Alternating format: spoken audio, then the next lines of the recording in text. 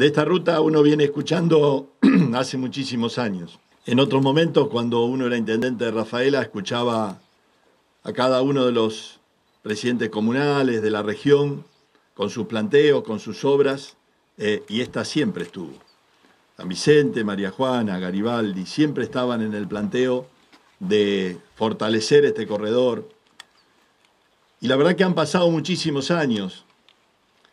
Y a veces esos años no solamente se cuentan.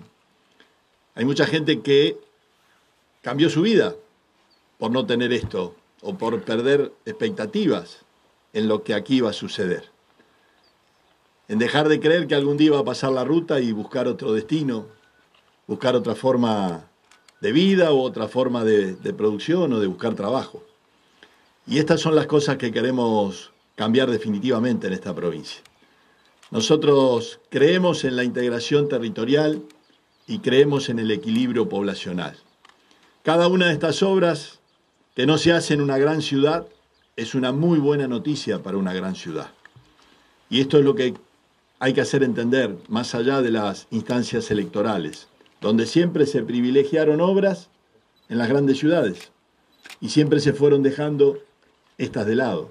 Esta provincia se va a desarrollar cuando podamos integrarla plenamente, cuando cada una de nuestras localidades y fundamentalmente donde se mueve la producción tenga la comunicación que facilite no solamente el movimiento de la actividad productiva, sino que facilite el arraigo, el poder vivir en un lugar donde poder transitar sin problemas, donde el tema de la salud y tener una asistencia al médico no dependa de si tengo ruta o no tengo ruta, donde las posibilidades de la energía eléctrica no siga concentrando en los lugares donde hay y en otros quedar a la buena de, de si el servicio está o no está, o si se corta o no se corta.